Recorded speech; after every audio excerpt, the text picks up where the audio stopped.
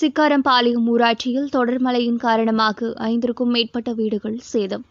கோவை மாவட்டம் மேட்டுப்பாளையம் சட்டமன்ற தொகுதிக்குட்பட்ட சிக்காரம்பாளையம் ஊராட்சியில் கண்ணார்பாளையம் பகுதியில் கடந்த ஒரு வாரமாக பெய்த மழையின் காரணமாக ஐந்திற்கும் மேற்பட்ட வீடுகளில் மேற்கூரை மற்றும் சுவர்கள் இடிந்து மழைநீர் வீட்டிற்குள் தேங்கியது. இதனை ஊராட்சி மன்ற தலைவர் ஞானசேகரன் நேரில் சென்று பார்த்து ஒன்றிய கிராம வளர்ச்சி அலுவலர் உதவி பொறியாளர் கிராம நிர்வாக அலுவலர் சீலன் ஆகியோரை அழைத்து சென்று சேதமடைந்த ஐந்து வீடுகளை காண்பித்து அரசு வழங்கும் நிவாரணத் தொகை கிடைக்க நடவடிக்கை மேற்கொண்டார். இதில் ஊராட்சி துணைத் தலைவர் யுவராஜ் ஒன்றிய கவுன்சிலர் சாமிநாதன் வார்டு உறுப்பினர் பாப்பாத்தி மற்றும் பலர் கலந்து கொண்டனர் என்பது குறிப்பிடத்தக்கது.